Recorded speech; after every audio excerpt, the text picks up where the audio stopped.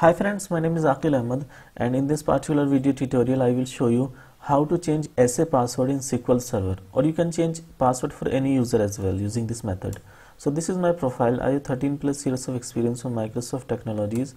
So the agenda of today's video tutorial is how to change SA password in SQL Server. So let's jump to the demo. This is my SQL Server 2019 instance and right now let me connect to this particular instance using the Windows authentication method. So you can see that I got connected to this one using HP user. So this is my Windows authentication user. And now there is a SA user here. So there are a couple of users SA users and demo users. So I will show you how we can change the password for SA user and then I will show you trying to log in using the SA user with the new password and I will also share the script with you so that you can use it in your environment as well. So this is the script. Let me just copy this particular script and then I can execute it here. So this is going to change the new password as this one new password. So maybe I can change it something else. Like I can set it to like password one. Okay. So I can just execute this query. So this query ran fine.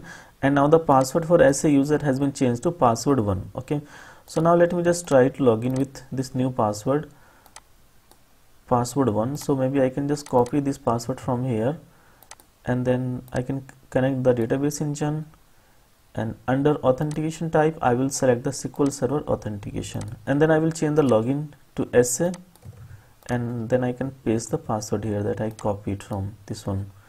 And now I can click on connect. So you can see that this got connected using the SA user now okay so this is good. Now let me change the password for some other user as well. For example I have the demo user okay? So I can change the password for demo user as well. So let me just execute this one. So the password for the demo user has been changed as well. And let me copy the password from here. And then I can connect to the demo user as well. So I can paste the password here connect so you can see that it got connected to the demo user as well. So you know this is how you can change the password for any of your user. It's very straightforward method and I will share this script with you maybe in the description of the video so that you can just use it in your environment. Yeah so that's it for today's video.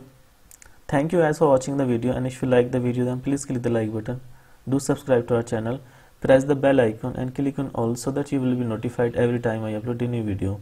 Thank you so much